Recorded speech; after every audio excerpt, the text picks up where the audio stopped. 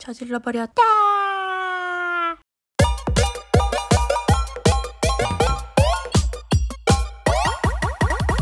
하이로 감자님들 이게 얼마만에 한 3년 만에 궁디팡팡 부스로 참여를 하게 됐어요. 대신 이번에 부스명이 으띠가 아니고 스케치 클럽이라는 부스로 참여를 합니다. 데라미 그새 또 컸죠? 어, 저희 부스에 대한 소개는 영상 끝부분에 있으니까 꼭 끝까지 봐주시고요. 감자님들도 놀러 오실 테니까 군디팡팡 꿀팁 영상을 또 준비를 했어요. 궁팡 얼마 안 남았으니까 잘 준비해서 사냥 열심히 해보자고! 자, 첫 번째. 표는 지금 사자, 제발.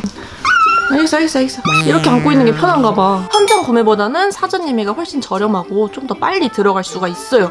그리고 사전 예매를 하면은 복권을 받을 수 있습니다. 그러니까 꼭 온라인으로 예매를 해주세요. 자 다음. 캐리어나 folding 카트는 필수 없으면 당장 이마트나 로켓배송이나 당근에서 구하시면 됩니다. folding 카트는 물건들이 덜렁덜렁 하지만 물건을 빨리빨리 넣고 정리를 할 수가 있고 캐리어는 열고 닫기가 조금 불편하지만 멀리서 대중교통 타고 오신 분들이 깔끔하게 정리해서 갈 수 있어서 더 편리할 수도 있어요. 궁디팡팡에는 살 게 아주 아주 많아요. 만약에 고양이 캔을 잔뜩 사고 이런 큰 쇼핑백에 넣어 들고 다닌다면 이거는 그냥 싸우자는 뜻. 여유 있게 보려면 언제쯤 가는 게 좋나요? 여유 있게 보려면 몇 시쯤 가야 될까? 다른 말? 나는 이벤트 다 조질 거야. 인기 상품 다 쓸어올 거야 하시면 오전. 나는 웬만한 거 다 있어서 그냥 여유 있게 구경할래 하시면 오후에 오시면 됩니다. 금토일 중 언제 가는 게 제일 좋나요?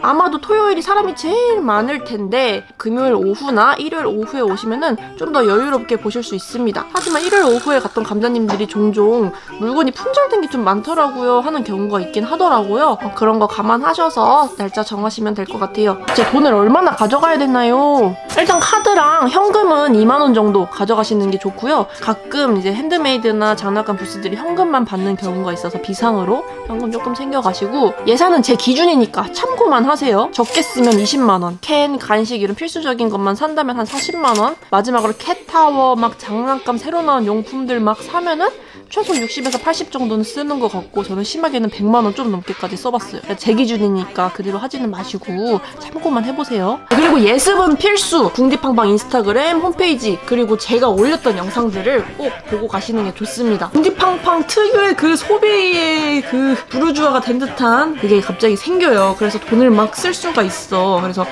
어, 알았어. 그래서 과소비랑 좀 살 거를 오히려 누락하는 그런 거를 막을 수 있으니까 온라인에서 꼭 확인을 하고 가시고 동선도 미리 부스 배치도를 보고 짜보시는 걸 추천합니다. 이번 궁팡이 아래층이랑 위층으로 나눠져 있어요. 아마 궁팡에서 위층부터 보고 1층으로 내려가라 이렇게 안내를 하실 텐데 위층에 제일 구석탱이에 저희 부스가 있으니까 꼭 들렸다 가세요. 자 다음 한두 개씩 사는 건 괜찮아요. 근데 이렇게 벌크로 사게 될 경우 인터넷보다 가격이 저렴한지를 꼭 확인을 해보세요. 가끔씩 배송비를 포함해도 온라인이 훨씬 더 싼 경우가 굉장히 많았어요. 특히 용품 부분에서 조금이라도 아껴서 그러면 캔 하나라도 더 사시길 바랍니다. 자, 그리고 물건을 이렇게 너무 많이 사서 들고 갈 수가 없어요 하면은 공팡에서 제공하는 택배 서비스를 이용해보세요. 공리팡팡에 가시면은 택배 보내는 부스가 있어요. 거기서 이렇게 택배를 포장을 해가지고 접수를 싹 해가지고 선물로 입금을 하니까 제가 부산에서 이렇게 보내봤더니 당일날 도착을 하더라고.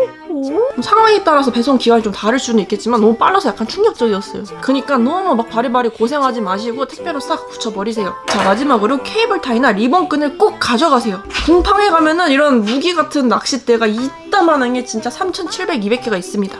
막 이걸로 지나가다 막 사람 막 찌르기도 하고 대중교통 탈 때도 불편하고 저도 이렇게 찔려봤습니다. 아, 이런 낚싯대들을 케이블 타이나 리본끈으로 싹 묶어주시면은 관리하기도 관리하기도 아, 자 그럼 여기까지가 궁팡 꿀팁이었고 도대체 으띠는 무슨 부스로 참여를 하냐 궁금하실 텐데 기다려봐 이번에는 으띠가 아닌 이렇게 스키치 클럽이라는 부스로 참여를 합니다 야이!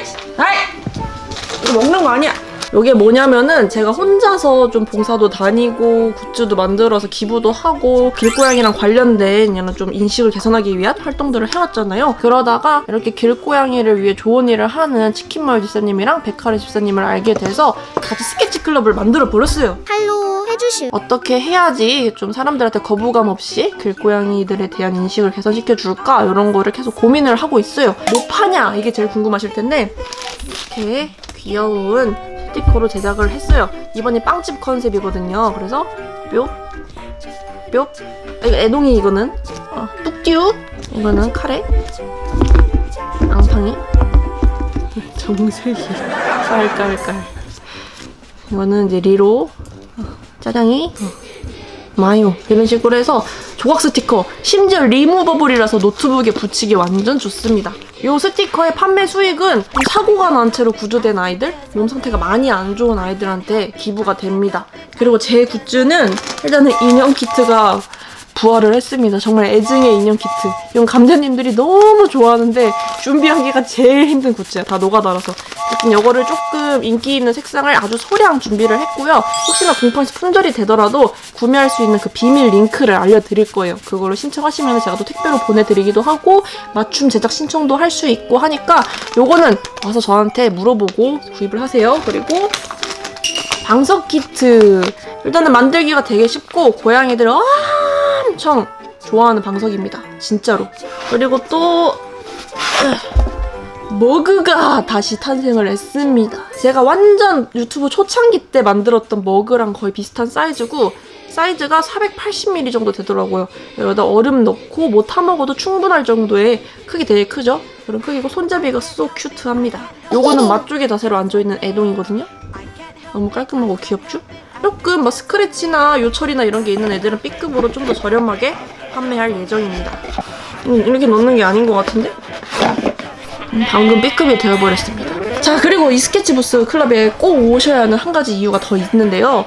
감자님들이 체험하실 수 있는 이게 마련이 되어 있어요. 저희가 고양이들 틀을 싹 준비를 해놨어요. 거기다가 우리 아이랑 비슷하게 색칠만 싹싹싹 하시면은 이런 cutie한 키링으로 만들어 드려요. 코팅하는데 한 10분 15분 소요가 되니까 이거 만들고 다른 부스 구경했다가 오시면은 저희가 완성된 키링을 짠 드릴 거예요. 이건 저희 김치국이기는 한데 이 키링 때문에 왠지 줄을 서시지 않을까 싶어가지고 혹시나 감자님들이 오셨다가 너무너무 사람이 많아서 참여를 못했어요 하시는 분들도 걱정하지 마세요. 궁디팡팡 끝나고 나서 옛날처럼 원데이 클래스로 키링 만들기 체험을 또 하실 수 있게 준비를 할 테니까 어, 기대 많이 해주시고요. 이번 궁디팡팡 캣페스타에 꼭 놀러 오셔서 키링 체험도 하고 후원되는 굿즈도 구경하고 저희랑 이것저것 놀다 가세요. 알았죠? 아 그리고 마지막 주의사항 선물 사오기 금지!